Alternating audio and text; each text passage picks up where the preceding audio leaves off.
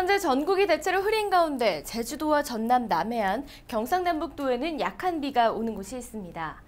경기 북부와 강원 영서 북부 지역은 내일 새벽 한때 비가 조금 내리는 곳이 있겠고요. 서울과 경기 남부, 강원 영서는 밤부터 내일 새벽 사이에 산발적으로 빗방울이 떨어지는 곳이 있겠습니다. 오늘 종일 흐린 날씨를 보인 남부지방은 기온이 뚝 떨어졌는데요. 내일은 다시 맑은 날씨를 되찾으면서 기온이 크게 오르겠습니다. 대구는 30도까지 오르는 등 오늘보다 10도 이상 크게 오르면서 덥겠습니다.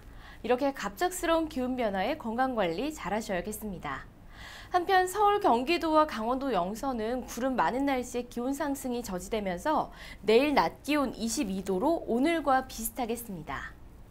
내일 서울, 경기도와 강원도는 북쪽을 지나는 약한 기압골의 영향을 받다가 점차 벗어나겠고요.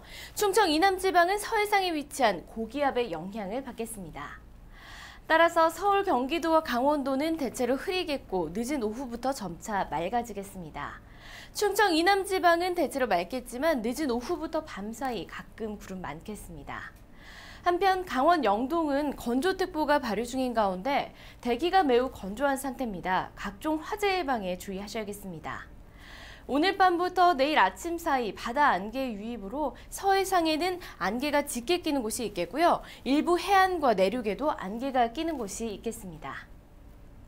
아침 기온은 서울이 15도, 청주 15도, 대구 14도로 오늘과 비슷하겠고요. 한낮 기온은 서울이 22도, 청주, 대전 28도, 대구 30도로 중북부 지방을 제외한 대부분 지역이 오늘보다 기온 오르면서 덥겠습니다.